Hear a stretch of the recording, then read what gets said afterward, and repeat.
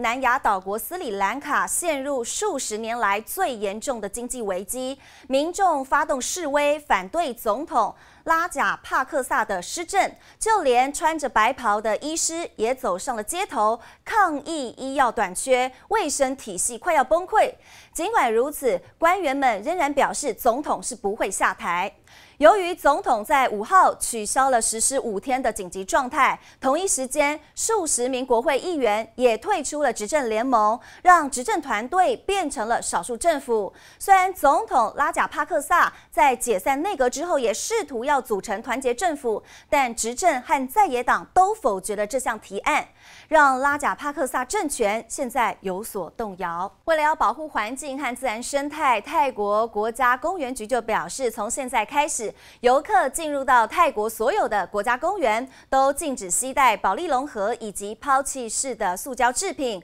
违反规定人最高将被处以十万泰铢的罚款。好，泰国国家公园局就表示，近几年传出不少次动物因为误食塑胶而死亡的新闻，禁止游客携带塑胶制品进入到国家公园，是为了要保护自然资源，并控制国家公园里头的垃圾量。以海洋公园为例。是为了保护海洋生态以及珊瑚礁，而其实早在二零一八年就有相关的环保规定，但是当时并没有宣布任何的法则。南海情势也同样紧张，马尼拉当局曾因为中国海警船在黄岩岛海域违反了国际海上。碰壁规则分别召见了中国大使，要求说明，并向北京提出了外交抗议。但在美国、菲律宾两国举行大型军演之际，菲律宾总统杜特地就表示，马尼拉和北京没有任何的争吵。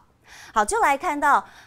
杜特地还表示呢，现在这个。两国可以讨论南沙群岛的问题和菲律宾渔民的捕鱼权。杜特地曾经在三月底也表示，如果乌俄战争升级并且向外扩散，菲律宾可能会遭到波及。因此，为了避免菲律宾卷入战争漩涡，他在四月八号将会与中国领导人习近平来会谈，讨论任何可能造成冲突升级的问题。